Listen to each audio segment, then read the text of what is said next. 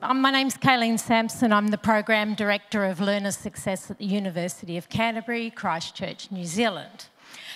Um, yeah, it's a long way to come, but we've enjoyed the uh, meeting so far. Look, what I want to talk about today with you is it's about analytics, but it's actually about engagement and it's about the human side of what we do when we engage in analytics. So, the tertiary sector, I think we would all recognise as experiencing an increase in student disengagement, which has really been brought about rapidly by COVID and our, our quick shift to online. In fact, the Times Higher Education recently did a survey um, uh, only early this year, and they discovered that three quarters of their academics report that post COVID lockdown, students are, are, are not returning to class, so there's a higher level of absenteeism occurring. Yet we all understand that the whole issue of engagement is a very critical one to, to watch within our sector. Uh, we know it leads to better learning outcomes for students, engagement with peers, materials and academics. But also, we know that engagement is a critical factor for those of our students who arrive with a lower than, um, lower than average ability at entry. Um, but despite that, and while we all know engagement matters, um, it's a problem we're all grappling with, and our solution at the University of Canterbury is something I'd like to share with you today. So, uh, give me a moment. Right. So, our analytics for course engagement, or ACE, is really made up of three parts. We've got a student facing dashboard, which, and all of these parts reside inside Moodle. We've got a student facing dashboard, we've got a, a bunch of teaching facing resources, and then we've got our re engagement program, which is that human piece that I was talking about with you before. ACE itself is derived by Moodle uh, engagement data that uses both cognitive depth and social breadth measures on each activity that sits inside of Moodle. But we also use other data points. So we're combining our Moodle data points with things like library information, um, Zoom, um, uh, Echo 360, as well as a bunch of what we understand to be predictors of risk. This is then pushed from, is put into Moodle and then pushed to our um, uh, machine learning to produce risk scores, while um, ACE itself also uh, produces engagement data. And we use this for our re-engagement program. I'm going to take you through each of those pieces very quickly. I only have 15 minutes and I'm going to talk super fast. so, uh, there you go. Great.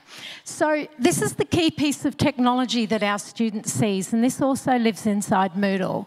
What we have here is a student's dashboard.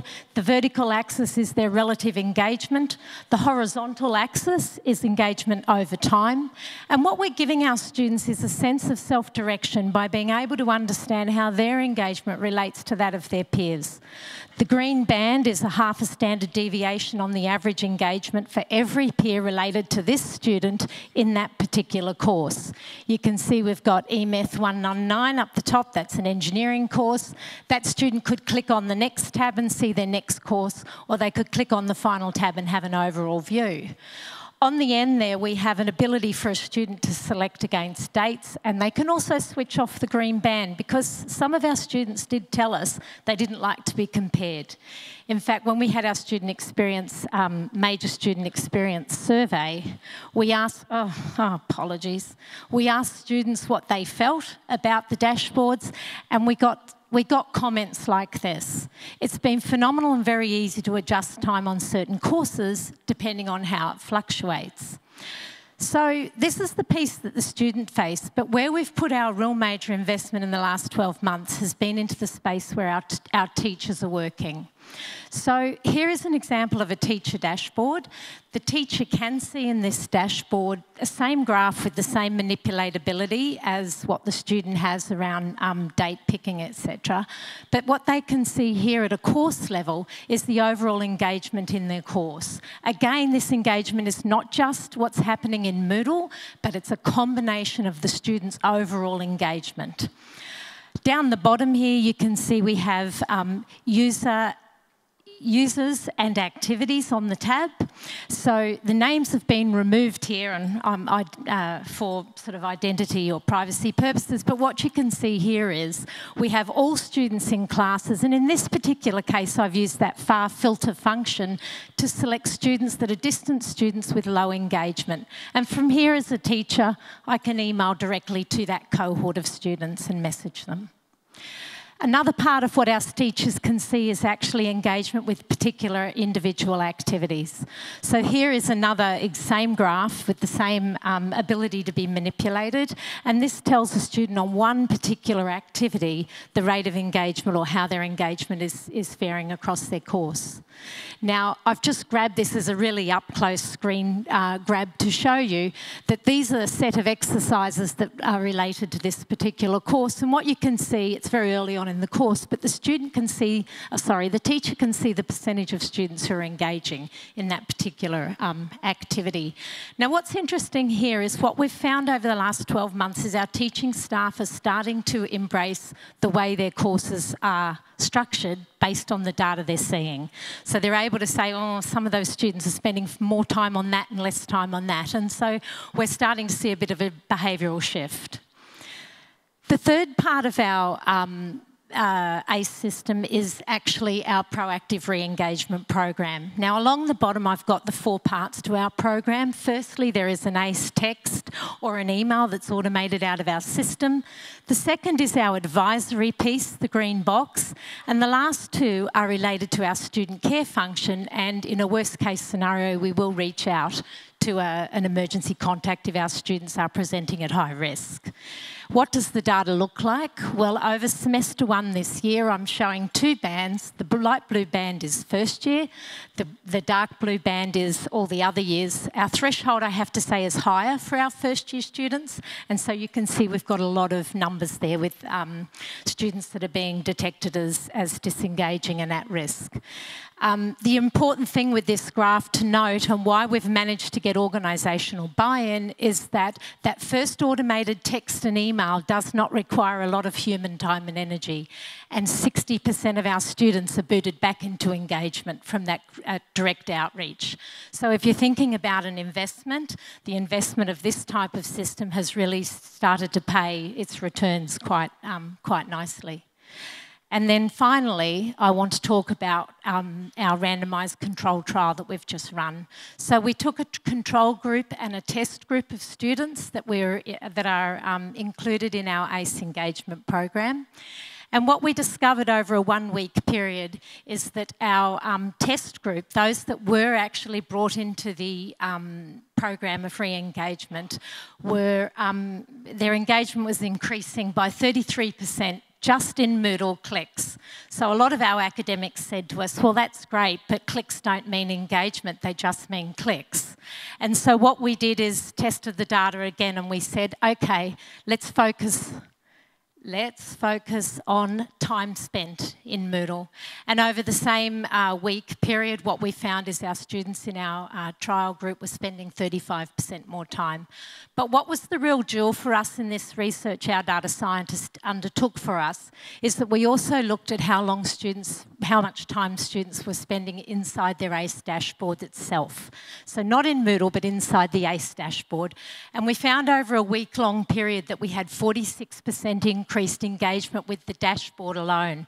This tells us that a dashboard is a brilliant place, it's a great piece of real estate for our key messaging around student support. And so where are we going with ACE?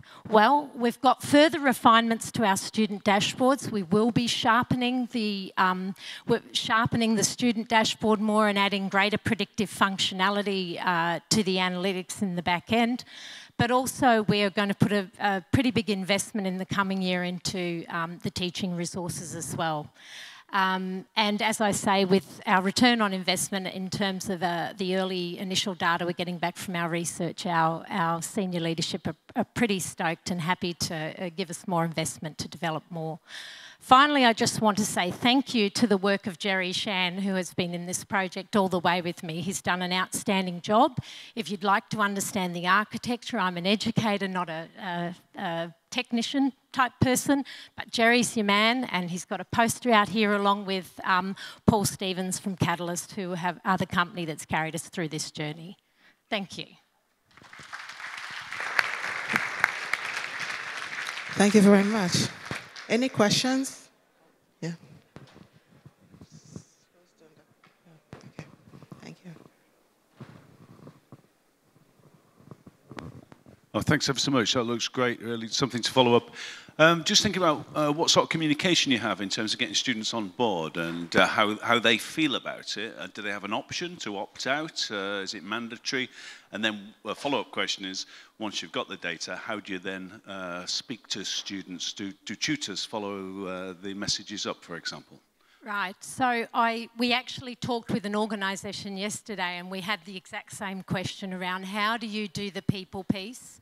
So ACE is really two components. It's a technical piece, and there's a massive human piece around change leadership across the organisation. We built a workflow for ACE, and that workflow enabled us to move down the organisation. The automated piece is handled by one staff member for 17,000 students, so it's been you know, refined quite nicely there. Beyond there, where we move into advisory, that branches out into academic advisors. And then as we move further up the tiers, we get to things like academic deans and course coordinators who do that direct reach out. There is a job in getting the organisation on board, but I think when, when your uh, staff see the benefits of um, students, particularly students at risk, we looked at the 35,000 decisions we make in a day and the increase since the 1980s, and no wonder we have high levels of anxiety in our first years. They struggle with the choice paradox, and we need to change the way we support them, and that's really one of the things that's um, underpinned what we've done. Thank you. Any other question? One more.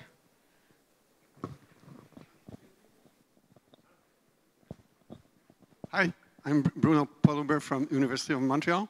Uh, we, are working, I'm here. Here. Sorry. we're working uh, on a student and uh, faculty dashboard project. We're just starting. You're much more advanced than us. Really interesting. So my question is quite simple. How, how how much uh, shareable or replicable uh, is your ACE infrastructure? I understand that you are probably using some cloud-based machine learning, so I would like you to develop a little Right. So, firstly, um, at the University of uh, Canterbury, we are a public university and we are committed to um, students first ahead of profits or competition. So, our um, code is open sourced.